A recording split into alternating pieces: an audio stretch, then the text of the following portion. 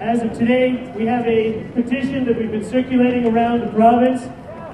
It says that we call on the Assembly to urge the government to cease and desist from further dismantling our public health care structure.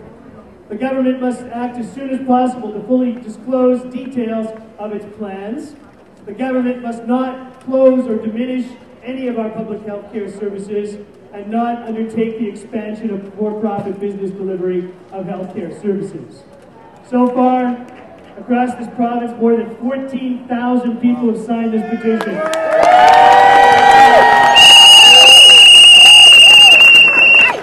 I'd like to give it, I'd like to hand it over here to uh, Brian and you to start tabling it. Going to take a heck of a long time, isn't it? This is only the beginning. If you, anybody hasn't signed it yet, you go over to our booths over to the side there, sign the petition, fill out those postcards. They're very important.